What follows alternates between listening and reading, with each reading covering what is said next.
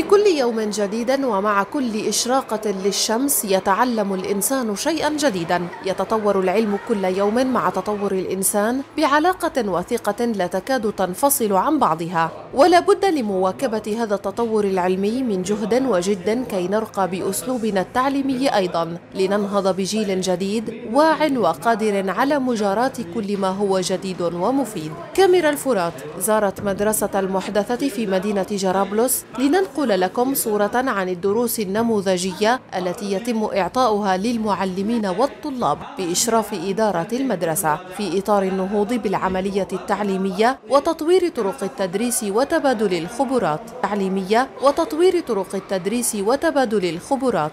ما هي بعدين تقسيم؟ مين؟ ستة تقسيم اثنين ولا ثلاثة شنو؟ أقوى من؟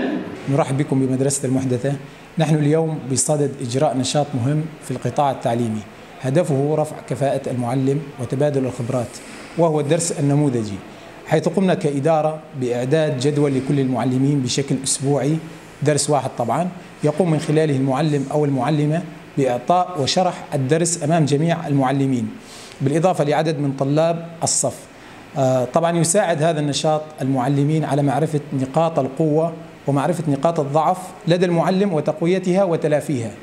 سعيا منا وحرصا على إيصال الأمانة بأكمل صورة لبناء جيل واعي ومثقف يساعد على بناء المجتمع.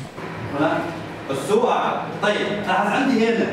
عندي ملاحظة. هاي ملاحظه هي فوق تقسيم 18 زائد 2 واحد 18 تقسيم 18 واللي هي واحد. زائد 2 يساوي 3 برافو صفوله